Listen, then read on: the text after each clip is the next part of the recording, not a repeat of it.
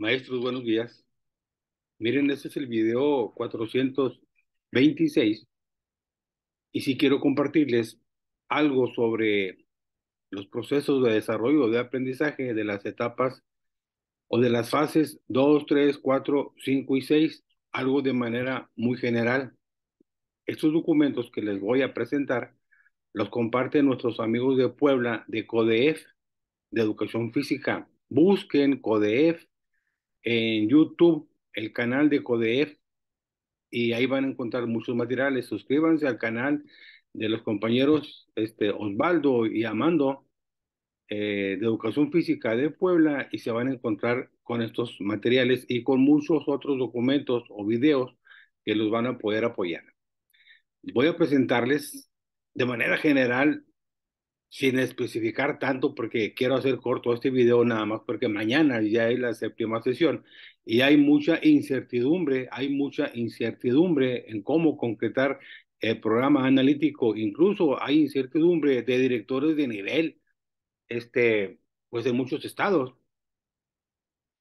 Entonces, bueno, yo sí les quiero compartir eh, el documento. Este, por ejemplo, este es el programa, el avance del contenido del programa sintético de la fase 2. Yo les voy a presentar lo que nos comparten los compañeros de Puebla. Eh, lo hago grande. Nos comparten los compañeros de Puebla los contenidos y procesos de desarrollo de aprendizaje del campo formativo de lo humano y lo comunitario de la fase 2, 3, 4, 5 y 6, de manera muy concreta, ya están subrayados los contenidos. En este caso, eh,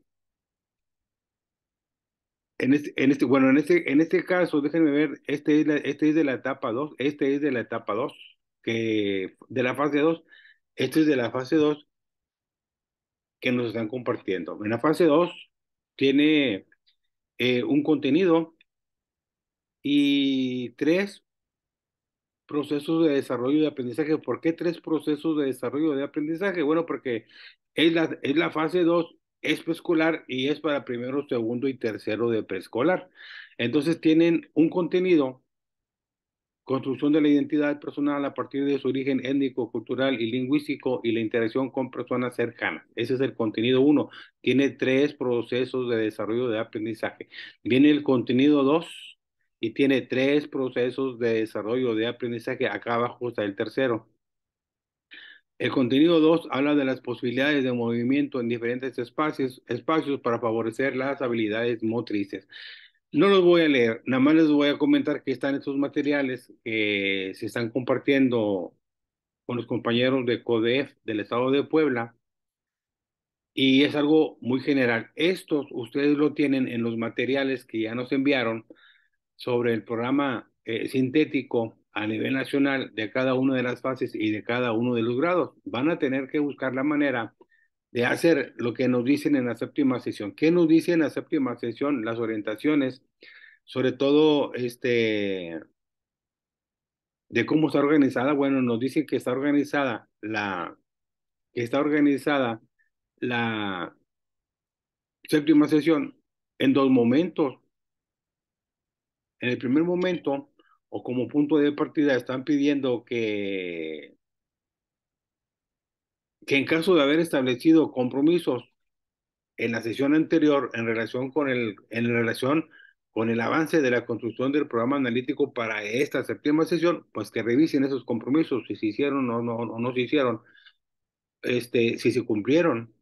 Y como segunda actividad de esta sesión de, de esta séptima sesión de Consejo Técnico, nos están pidiendo que a partir de la revisión del programa sintético, que a partir de la revisión del programa sintético del campo formativo de lo humano y lo comunitario, que es el cuarto campo formativo con el que se supone que ya debemos de concretar el programa analítico por maestro, por grado, por fase, nos dicen que reflexionemos en torno a lo siguiente y nos hacen tres preguntas.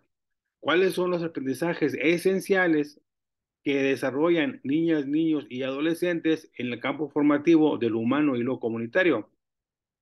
¿Cuáles son esos aprendizajes esenciales?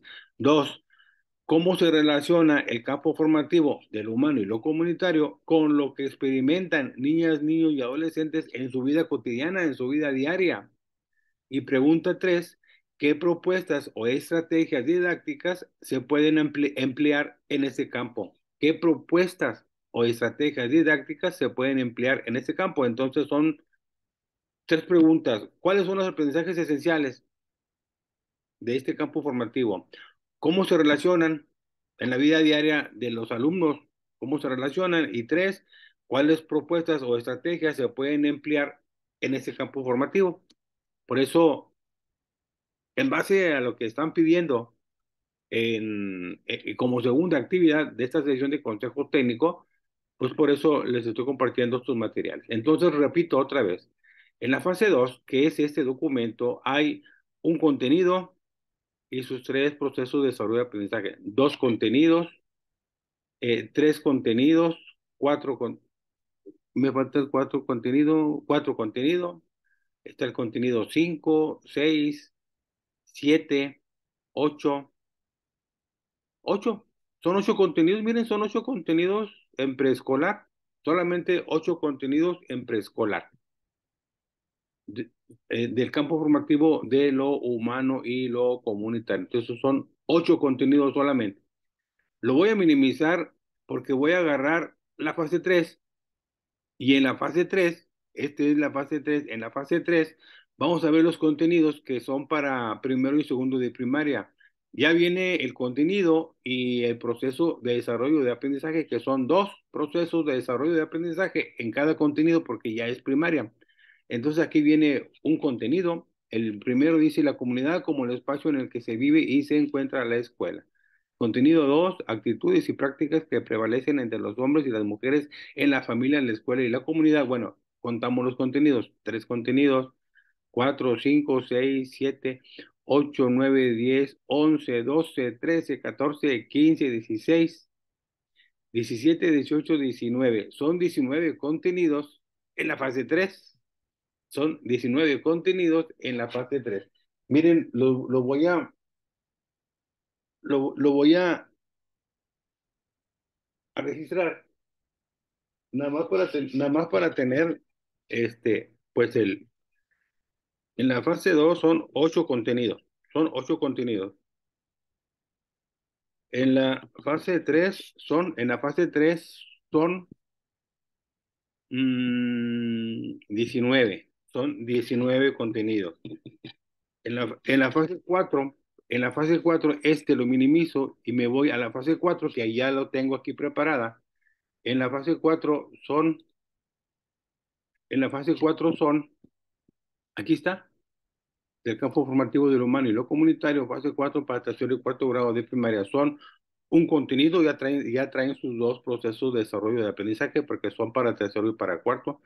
Dos contenidos, tres, tres contenidos, cuatro, cinco, seis, siete, ocho, nueve, diez, once, doce, trece, catorce, quince, dieciséis, diecisiete, dieciocho, diecinueve, veinte, 21 en la fase 4 son 21 contenidos. Bueno, aquí estoy viendo que los compañeros marcaron con rojo dos contenidos. Uno que dice intensidad de las reacciones emocionales, influencias familiares y culturales que inciden en ellas. Y aparte, toma de decisiones asertivas. No sé por qué lo, lo señalaron en rojo, pero bueno, no nos vamos a detener en eso. Lo que importa es que pues estamos viendo la cantidad de contenidos de cada una de las fases para cada uno de los grados.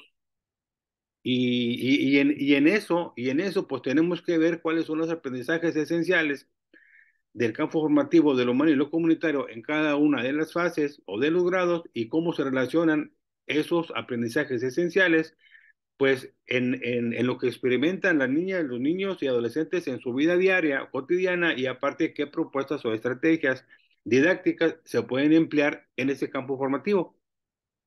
Entonces son 21, 21 contenidos en la fase 4. Me voy a ir a la fase 5. En la fase 5, que es para quinto y sexto grado, aquí está quinto y sexto grado de primaria, revisamos los contenidos, son, el primero dice la familia como espacio para el desarrollo del sentido de pertenencia y autonomía para una sana convivencia y trae sus dos procesos de desarrollo de aprendizaje. El contenido 2, alternativas ante conflictos y problemas de la vida en la comunidad. Y trae sus dos procesos de desarrollo de aprendizaje porque es para quinto y sexto grado. Entonces ya los contamos. 3, 4, 5, 6, 7, 8. Ok, van de 14, 16. Son 16. Son 16 contenidos en la fase 5. En la fase 5 son 16 contenidos. Y nos vamos a ir a la fase 6, que es de secundaria. Nos vamos a ir a la fase 6, que es de secundaria. Y vamos a revisar cuántos contenidos son. Cada contenido en secundaria, que es la fase 6, en cada contenido vienen tres procesos de desarrollo de aprendizaje porque son para primero, segundo y tercero de secundaria. Entonces viene un contenido. El primero dice herramientas, máquinas, instrumentos como extensión corporal en la satisfacción continua de intereses y necesidades humanas. ¿Por qué habla de herramientas y máquinas? Ah, bueno, porque el, porque el campo formativo del humano y lo comunitario tiene tres asignaturas o tres disciplinas, tiene tres asignaturas o tres disciplinas, que es, es tecnología, es eh, la tutoría o educación socioemocional y es la parte de educación física. El campo formativo del humano y lo comunitario tiene tres disciplinas. Lo voy a repetir. Tiene lo que es tecnología, tiene lo que es tecnología, tiene lo que es la tutoría o la parte socioemocional y tiene la tercera disciplina, educación física. Entonces, aquí sí los voy a contar por disciplina. Aquí sí los voy a contar por disciplina. En el caso de tecnología, vamos a ponerle aquí, este, en el caso de tecnología son un contenido 2, 3, 4, 5, 6, 7, 8, 8. En el caso de tecnología son 8.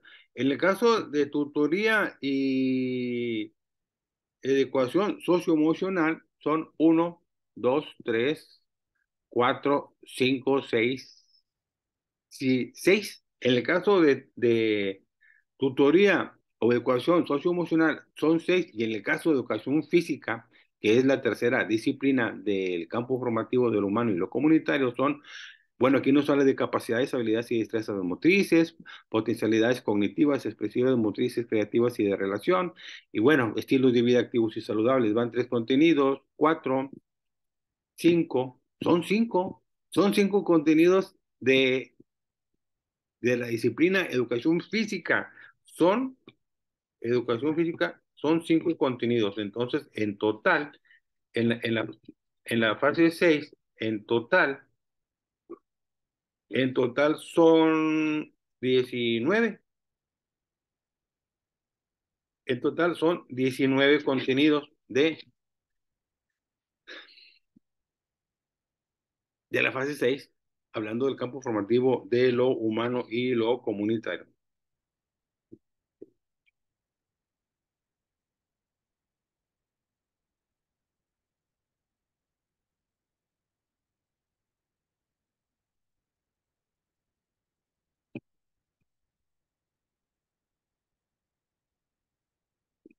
Bueno, parece que en total son, parece que en total son 83 contenidos, en total son 83 contenidos, así no me equivoco, lo conté muy rápido, en total son 83 contenidos del campo formativo de lo humano y lo comunitario, 8 de la fase 2, 19 de la fase 3, 4, 21 de la fase 4, 16 de la fase 5 y 19 de la fase 6. En total son 83 contenidos, pero hablando de secundarias de la fase 6, son 8 de tecnologías, son 6 de tutoría y educación socioemocional y son 5 de educación física y son 5 de educación física. Mire, ya hice, ya hice mi cuadrito para, para checarlo con mis compañeros de secundarias. Mañana que vaya yo a acompañar a dos o tres escuelas en sus sesiones de consejo técnico, a ver qué les puedo aportar. Esta es una información muy general. Saludos a todos, buenos días que nos vaya bien mañana, que nos vaya bien mañana, ojalá y que esa incertidumbre que existe sobre la elaboración del programa analítico y el codiseño a nivel nacional en el Magisterio de México, pues poco a poco vayamos, poco a poco vayamos, pues minimizándola, poco a poco vayamos minimizándola, esa incertidumbre, esa incertidumbre o eliminándola, pero poco a poco nos vamos a tener que ir apropiando, poco a poco nos vamos a tener que ir apropiando de esta información. Vamos a esperarnos a ver qué sucede mañana. Bueno, este es el video 426. Eh, campo formativo del humano y lo comunitario para la séptima sesión de Consejo Técnico. Nos vemos, nos vemos en el siguiente video.